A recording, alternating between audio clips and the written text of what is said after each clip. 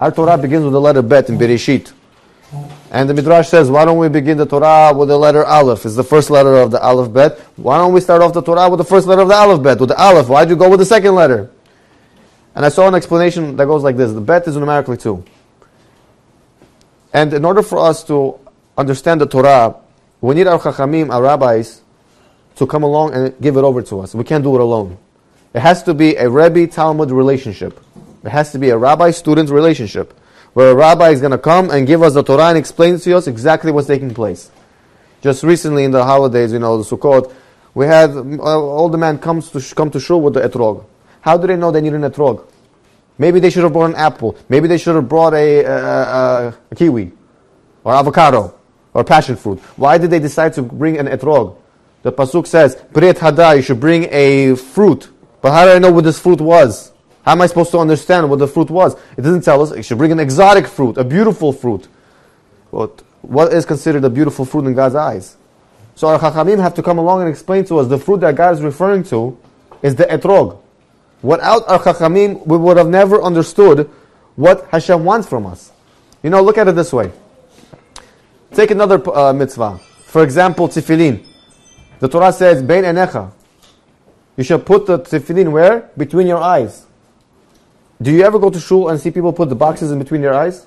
They put it right by the hairline. How do we know that? We need the Talmud. We need the rabbis to come along and explain this to us. Without them, we would fail learning the Pasukim. We're going to give our own distorted interpretations behind the Torah. There was a father who was very old. He was getting old and he was passing away. So he called over his son. He said, You know, my time is coming for me to leave this world. He tells his son, I was very successful in my life. I want to give you the three keys to success. You want to know how to be successful in life? Number one, always eat honey. Always eat honey. Number two, make sure to stay away from the sun. Number three, oh, when you go to sleep, sleep in silk. And then the father passed away. The, the, the son didn't understand. What is my father telling me? I should eat honey, run away from the sun, stay away from the sun, and I should sleep in silk? I don't understand. So he started taking his father's words literally. Said, Listen, my father told me I should eat honey. That's what I'm going to do. So he packs up lunch for work. He, takes a whole jar of honey, puts it in his bag. Now he's going outside. The sun is out. My father told me to stay away from the sun. What am I going to do? So he goes running under the shades. And he starts running from under the tree to under the, the, you know, from one place to another. And finally, he gets to his job. He looks like his tie is over here. He's sweating. He's been running from place to place, trying to stay away from the sun. Everyone takes out a sandwich by lunch. He takes out a jar of honey. He starts eating the honey. And then he goes home that night, goes to sleep, puts on his silk clothes, takes, uh, you know, goes to sleep. The next morning he has to go get the paper outside, comes out in his silk clothes. Who wears silk pajamas? It looks funny. People are passing by looking at him like he's a bit interesting. And then he starts feeling nauseous. He goes to work. He looks out of it. He's been eating honey all day long. And he got tired of running around from shade to shade, so he came out with an umbrella. It's 100 degrees outside. This guy's coming out with an umbrella as if it's pouring rain. And everyone thinks he's nuts. Eventually, he gets a knock on the door. Who is it? It's his father's best friend. He says, You know, I know your father for many years. He was a wise person. He was very respected. And then you come along and you're embarrassing your father's name. What are you doing? I see you running around. People say you're eating honey, sleeping in silk. He says, Let me explain to you. My father told me to do this. I'm only following my father's instructions. He said, What are you talking about? He says, Yeah, my father said, I should eat honey, I should stay away from the sun, and I should sleep in silk. He says, Your father was a wise man.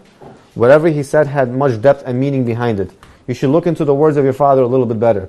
When your father told you that you have to eat honey, what he meant was, in order to be successful in life, you have to learn to enjoy what you have in life. Learn to enjoy the job that you have. Learn to enjoy then you'll be successful. If you don't enjoy it, you're not going to do it with a passion, how are you going to be successful in life? He says, okay, that makes sense. So why did my father say, stay away from the sun? He says, that's very simple. You want to be successful in life, you have to stay away from the sun. You have to wake up extra early. You can't wake up when the sun wakes up. You have to get up early in the morning. Can't get up 10 o'clock, 11, 12 o'clock at night in the, in the afternoon. You want to succeed in life? Wake up early. Wake up before the, the sun rises. He says, wow, I never thought of that. Brilliant. He says, yes. What about sleeping in silk? Well, silk is a, silk is a very expensive uh, material. He probably wants to tell you that you have to dress well, take care of yourself. You know, sleep in silk means you have to make sure you look presentable. People will look at you, they're going to watch you. And so you have to represent. You have to look presentable. He says, well, now I understand. You see, our Torah is like a prescription. When you go to a doctor, they give you a prescription. You don't know what the prescription says. You have no idea what the doctor is talking about. You take it to the pharmacist. The pharmacist looks at it. He understands what medicine you need, what a dosage you need, how many days you have to take it for. He understands all the ins and outs of what the doctor wants from you. Our chachamim are like the pharmacists. The Torah is like a prescription from God. You cannot understand without our, without our chachamim. Our chachamim have to come along and explain it to us. And just like this man thought he understood his father and he took his father's words literally, if we come along and we're going to start to take the Torah and try to lower it to our level and try to understand it, we're going to give the wrong interpretation to the, to the Torah. And so we have to understand that in order for us to succeed at keeping the Torah properly, we need the help of our chachamim. We need the help of our rabbis. And we have to appreciate what we have because our chachamim have siyata d'shmaya, a great deal of siyata d'shmaya. And they are able to explain to us the Torah according to the way it's needed to be interpreted. So, with this, we can understand why the Torah must start off with the letter bet. Because the bet is, represents two, and the two is between you and your rabbi.